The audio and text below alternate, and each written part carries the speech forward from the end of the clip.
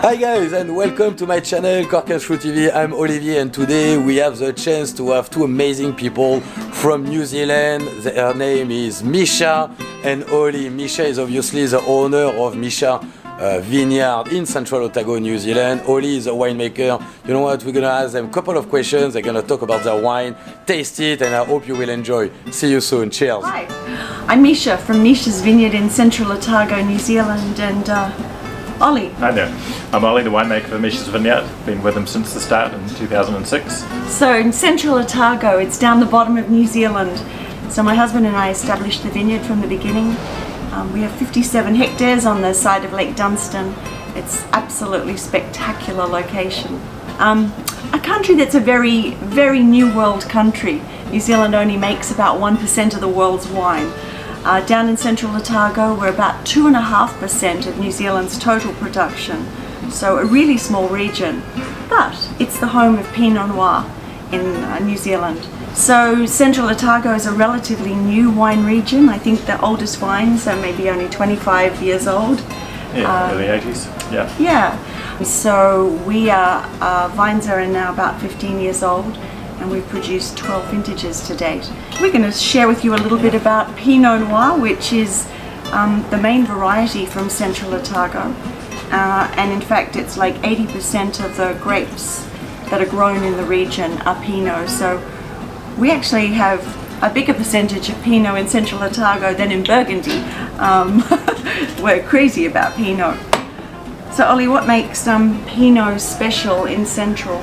A unique climate even within New Zealand. So it's, it's a continental climate. It's a very dry, desert-like environment. So there's a short, sharp season. You get hugely intense fruit.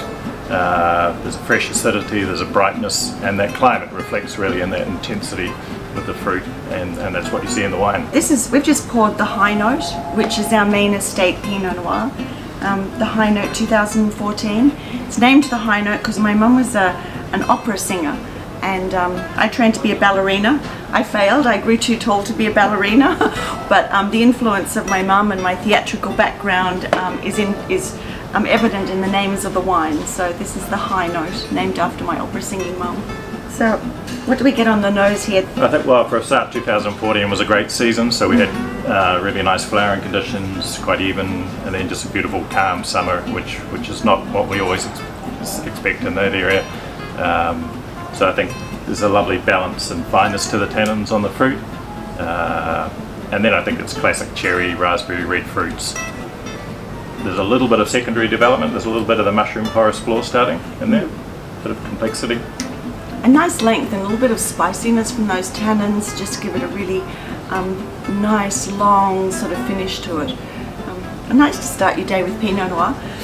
We always taste our wines um, with the Pinot first, followed by the whites, because Misha's Vineyard makes, um, I guess two thirds of our production is Pinot, but one third is aromatic whites, and they've all got some level of residual sugar, so we think it's better to taste the Pinot and then the white wines. Our range of white wines uh, include a Sauvignon Blanc, Riesling, um, we make two styles of that, um, Pinot Gris, Gewürztraminer and a late harvest so it's quite a quite a range of aromatic white wines and we think they're sort of the undiscovered um, wines of the region. Everyone knows about Pinot but the aromatic white wines are, are pretty spectacular. Should we try um, a Sauvignon? It's the 2015. Um, obviously New Zealand's pretty well known for Sauvignon Blanc but it's a, it's a pretty unique thing for um, Central Otago to be experiencing we get quite a different style, I'd say. It's a very small block, it's low cropping, there's a lot of concentration and density in the wine. Um, it's not just about a bright fruit character.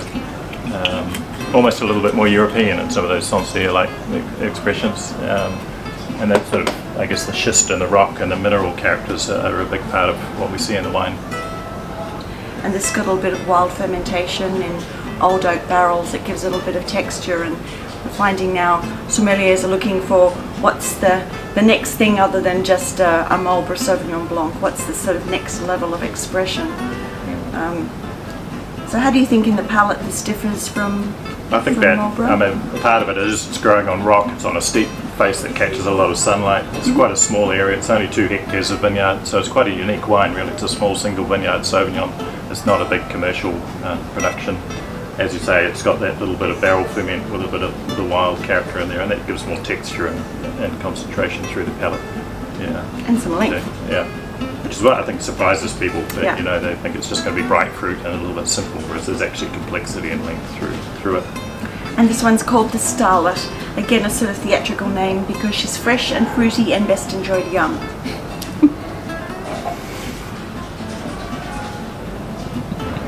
Voila.